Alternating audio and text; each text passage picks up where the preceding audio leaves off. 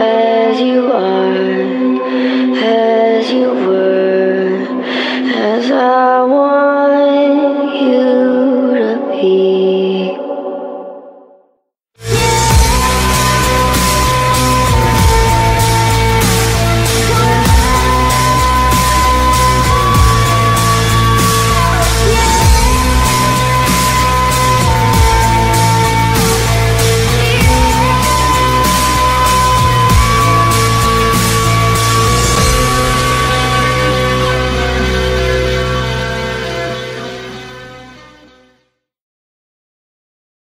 Greetings, one and all, to UniVS. In this show, we will analyze the stats, weapons, and abilities of two fighters to see who would win in a battle to the death. Many people have predicted the outcome, so let's see who guessed right and who guessed wrong. And be sure to stay tuned after the episode so you can see the next fighters and make your predictions down in the comments below or in a video response. And who knows, your comment or video response could be featured in the very next episode. Now, let's meet our two fighters Jack, the robot soldier from Tekken, and Jasper, the quartz soldier from Homeworld. Which of these two military grunts would come out on top in a battle to the bitter end? This is UniVS.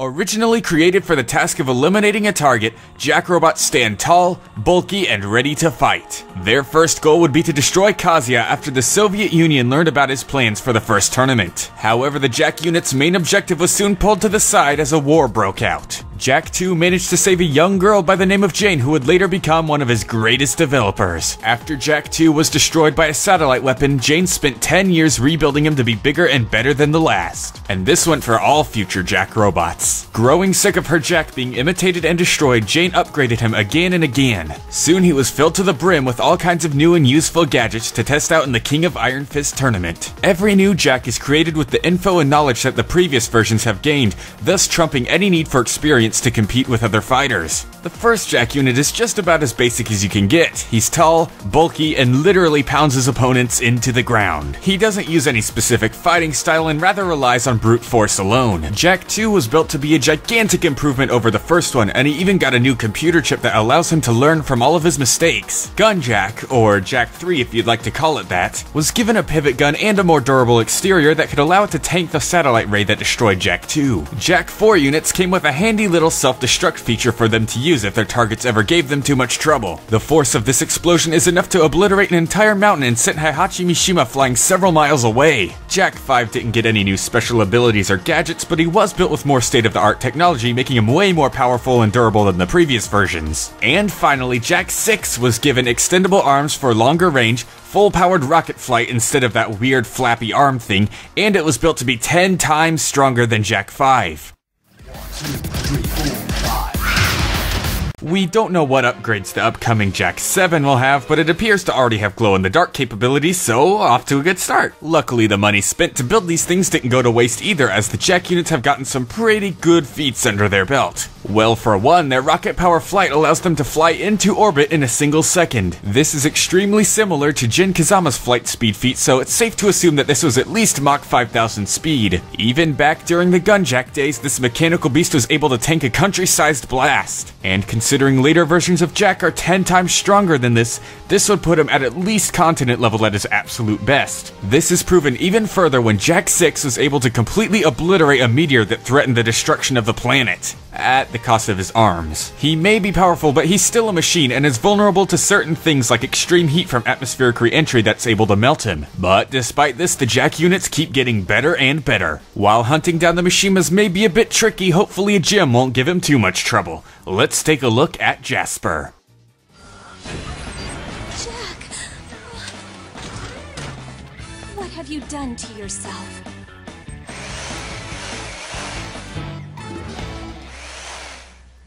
Thousands of years ago, the Earth was under attack by Homeworld gems from Gem Homeworld. Is that seriously the most creative name they could have given it? Well, anyways, the plans of the Homeworld gems were soon interrupted by Rose Quartz and her team called the Crystal Gems. In order to battle this rebellion, they'd need all kinds of new soldiers. They used locations all over the Earth called kindergartens in order to grow more quartz soldiers. Their time and resources were limited, however, which caused a few failures like Amethyst. But when everything was done right, a powerful war machine would emerge emerge, and one of the strongest and most recognized is Jasper. This big, bulky, powerful quartz soldier towers over her foes and strikes fear into their hearts. Jasper seeks only to fight the most powerful foes, like the legendary Rose Quartz. Unfortunately for her, that is no longer possible, so she has to use her abilities to fight mere runts. Not like there's any real problem with that considering what she can do. As a quartz soldier, Jasper obviously has some military fighting skills, and she even has her own gem weapon like every other gem. A shiny little helmet may not seem like much, but the end is hard and pointy, making it perfect for headbutting. Not to mention it protects Jasper enough to tank a powerful punch from Garnet. Jasper can lunge at foes in a powerful fiery aura that can tear through just about anything, and she can even perform a spin dash move that looks like Sonic's.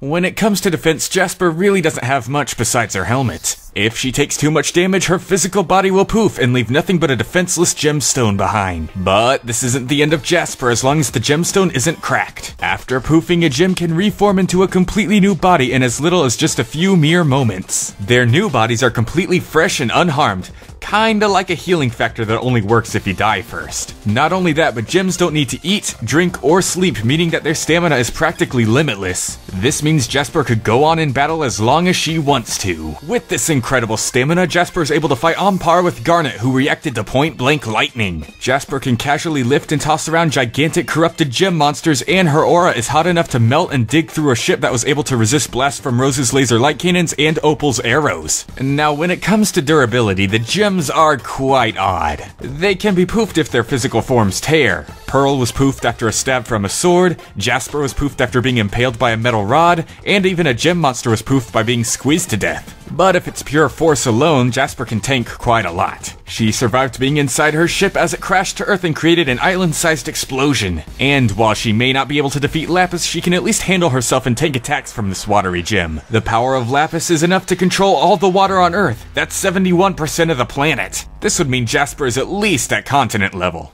A quartz soldier at their finest, but let's see which grunt will come out on top. Let's look at your predictions while I calculate the results.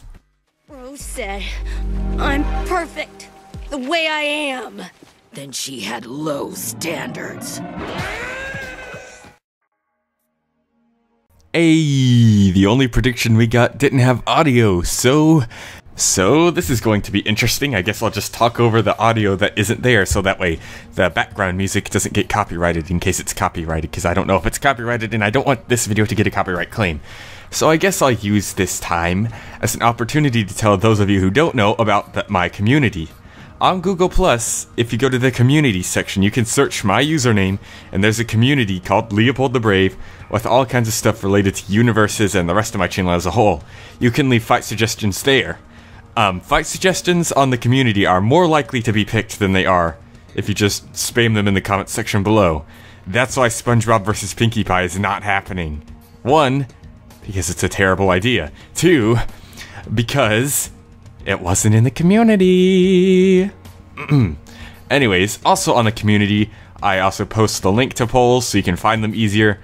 Um, you can uh, you can share your thoughts and discussions on episodes. You can also learn some fun facts about my channel and some stuff about the old shows that I used to do. And you'll get to you'll get ahead of time awareness of upcoming stuff like maybe I'll confirm a fight that's going to happen and then it won't happen until like 5 episodes later. So you could know about it like 10 episodes ahead of time.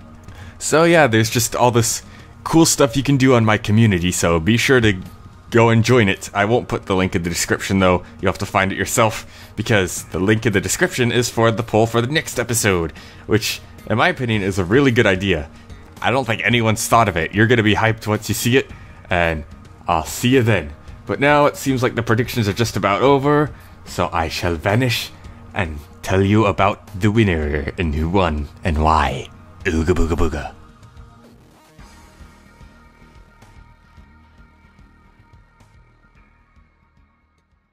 And the results are in. The winner is. Jasper. Again, another close match. This one was a mystery even to me. Even you guys were lost for words as this was one of the closest prediction results counting comments, video responses, and the poll results.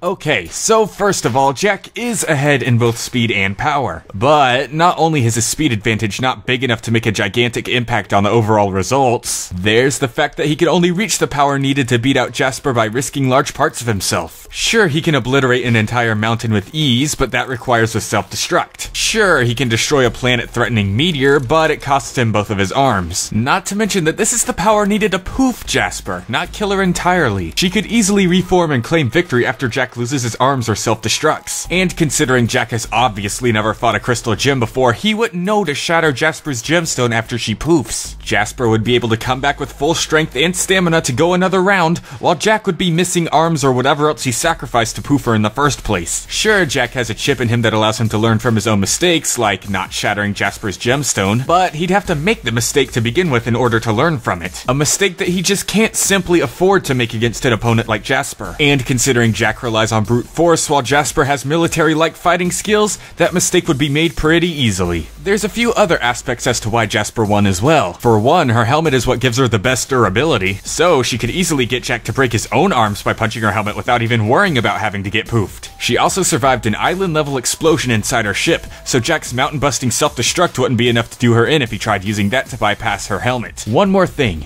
Jasper's fiery aura is hot enough to melt through her own ship, which was unharmed after experiencing atmospheric re-entry. Jack, though, has completely melted from atmospheric re-entry. Jasper charging or spin dashing at Jack would be more than enough to melt through his robotic body. Sorry, Jack, but this salute is for the superior soldier. The winner is Jasper. Look, your base is taken. Your armies are ruined. You have failed. Get ready for the next battle.